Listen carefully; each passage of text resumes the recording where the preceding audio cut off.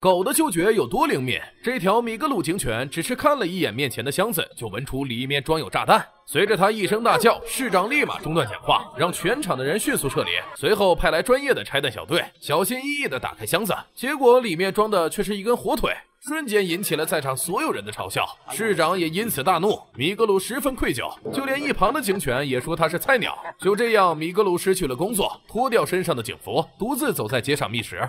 突然，一个坏人出现，将他抓走，把他关进一个地下实验室，里面被关押的还有很多流浪狗。而这里的主人就是这个看似一表人才，内心却是个小恶魔的博士。为了研发改造基因的药剂，他专门抓流浪狗做实验。只见博士掏出一只超大的药剂，准备给米格鲁注射。突然，哇接着，米格鲁趁机逃脱，在实验室上蹿下跳，慌乱中意外打翻了装药剂的柜子，身体吸收后产生反应，竟然直接撞破大门逃之夭夭。原来这些药剂是黑博士研究多年的心血，只要注射就会改变基因，拥有猎豹的速度、老鹰的飞翔以及大象的力量。米格鲁逃出后饿得不行，于是来到垃圾桶翻找食物。这时，三条恶犬走了过来，表示这里是他们的地盘，说罢就要追赶米格鲁。就在米格鲁逃跑时，迎面一辆汽车撞了。过来，车主赶紧下车查看，幸好米格鲁及时躲进车底，安然无恙。男人看他可怜，于是便好心将其收留。殊不知，这可不是一条简单的狗。回到家后，男人开心的把米格鲁送给儿子阿帅当做礼物。一开始，阿帅十分抗拒，因为他觉得养狗太麻烦。但看着米格鲁可爱的模样，阿帅还是同意了。从此，他也有了新的名字富贵儿。然而，富贵儿到新家的第一天就开始闯祸，先是不小心把家里的罐头咬破，就像奥利给一样撒在墙上。看见送快递的小哥本想打招呼，一个叫声却把玻璃和小哥都吓坏了。想拿沙发下面的网球，结果直接把沙发掀翻。很明显，富贵儿并不清楚自己体内蕴含着恐怖的力量。阿帅回家后直接傻眼了，他不敢相信这是一条狗所为，父亲肯定也不信，挨揍的一定是自己。还没等反应过来，富贵儿居然开口说话了。一开始阿帅还以为听错了，直到富贵儿当他的面开口。What what what what wait a bit you can understand me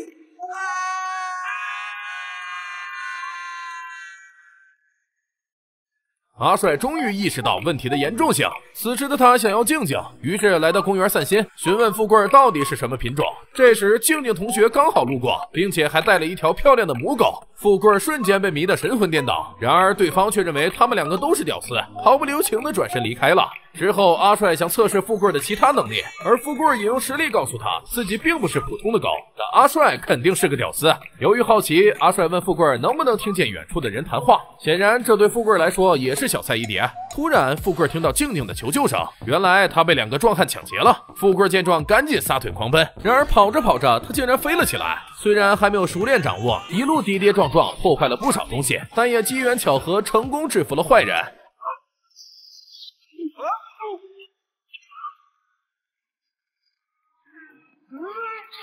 接着，富贵把相机还给静静，转头离开。之后，警察赶到，将坏人绳之以法，询问静静救人者的长相。于是，根据静静的描述，他们画了个四不像出来。回到家后，阿帅意识到富贵可能是拥有超能力，告诉他可以利用自己的能力惩恶扬善。之后，特意为他设计了一套和超人相似的战衣。从此，超狗正式诞生。只要城市出现坏人，富贵就会及时出现阻止，将坏人绳之以法。以及即将发生的意外，富贵也会第一时间赶到，避免灾难的发生。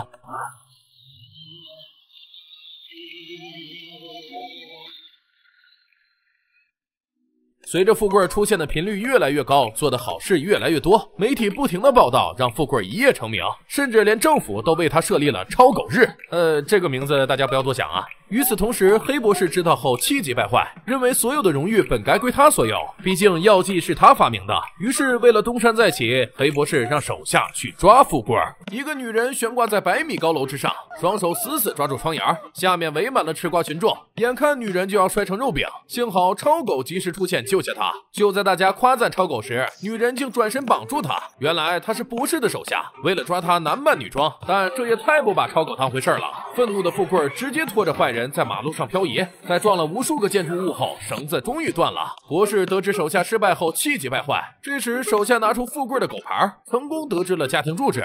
之后趁阿帅家里没人时，抓走了阿帅的父亲，把他绑在地下实验室，逼迫他大喊富贵的名字。富贵听到后，赶紧通知阿帅，随后立马赶到实验室。富贵为了救他们，自愿配合博士抽取 DNA，然后服下红色药丸，变回了普通狗。得到 DNA 的博士复制更多药丸，喂给自己的三条狗。随后大摇大摆来到市长面前，强行控制住市长。另一边，阿帅解开绳子，一行人赶到市长门前。此时，黑博士让手下在楼顶安置炸弹，同时把药剂绑在上面，试图利用药剂操控所有人。富贵好像意识到什么，独自从管道溜进去，冲到博士的身上，把药丸打翻。就这样，富贵再次获得超能力。博士见状，自己也服下一颗，有了超能力后，瞬间就制服了富贵。很快，他就被三条超狗包围。这时，富贵念道：“煮豆燃豆萁，豆在釜中泣。本是同根生，相煎何太急。”狗狗们瞬间恍然大悟，转头开始攻击博士。接着，父亲突然出现，给他注射药剂，让博士变回了普通人。此时，炸弹还有一分钟就要爆炸，富贵赶紧飞到楼顶，把炸弹含在嘴里，然后开始往地下刨坑。等到足够深后，放下炸弹。由于没来得及逃跑，富贵受到爆炸的冲击，直接飞出了大气层。没多久，又开始坠落，重重的砸在地上。阿帅抱起富贵痛哭，直到富贵睁开眼，大家心里的石头这才落地。之后，博士被关进监狱，受到了应得的惩罚。电影到此结束。Just do it. Oh,